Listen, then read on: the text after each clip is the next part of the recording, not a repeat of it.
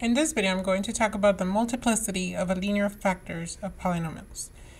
Linear factors are factors that you multiply to get a polynomial, but they look like linear, meaning they only have x to the power of 1. Uh, most of them just simply look like x plus something or x minus something, but they all have an exponent of 1. So the multiplicity means that what if we have more factors more than just one factor. So we have a lot of them or we have them to a power, maybe a third power. Um, so multiplicity will be that uh, factor exponent that we have. Um, this exponent can tell us whether this factor, which will create a zero, is going um, to either have a graph that will go through that zero or will touch and turn at that zero. So it's a really neat way to not even need a graphing calculator. Um, just pretty much look at the factors that they give you of the polynomial and make some conclusions to yourself, some annotations, whether um, this zero is going to have a graph going through it or whether it's going to touch and turn.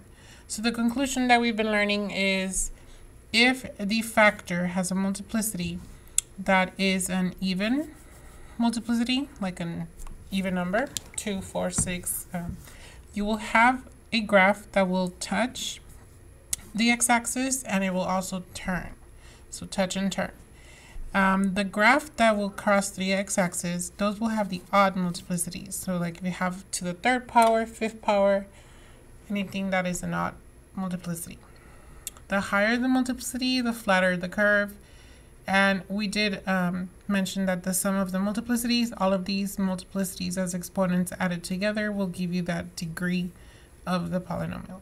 So for example here, I have some annotations in this example where based on the factors given, we can conclude that this polynomial has zeros at negative 3, positive 4, and positive 1 because those zeros are the opposite of the numbers that you see on the factors.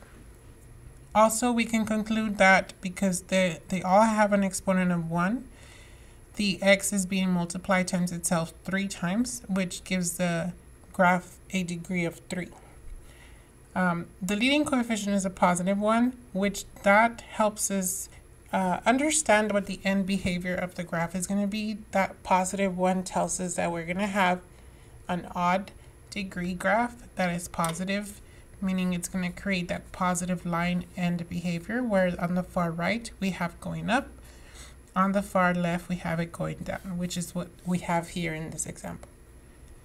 And as far as the multiplicity since they all have an exponent of 1 we can see that the graph goes through each zero. It just goes through it.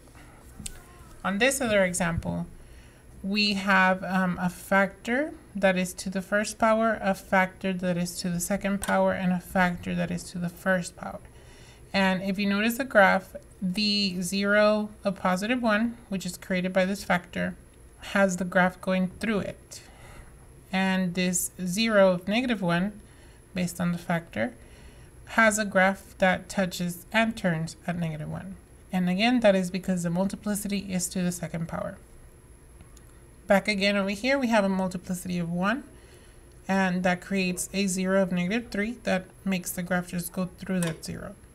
So in other words, if the degree of the factor is an even number, that is telling you that it's going to touch and turn.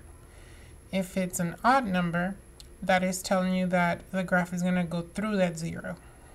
And pretty much that's what we were trying to conclude in our lessons these couple of days. So right here I have a couple of examples as well to look at. This one was an interesting one to see how it looks like it's going through, but in a way it also turns. So this is an example of when you have to the third power, which means that it's an odd multiplicity, just like over here we have a 1. Um, when it whether it's 1 or 3 or as high as it goes, as long as it's an odd multiplicity, it's going to go through it. So notice that this graph goes through negative 3 because of this factor, an exponent of 1, multiplicity of 1. And then it goes through negative 1 because of this factor and its multiplicity. But then when it goes to the 0 of positive 2, because of this factor, the multiplicity is an even number, which creates that touch and turn motion of the graph.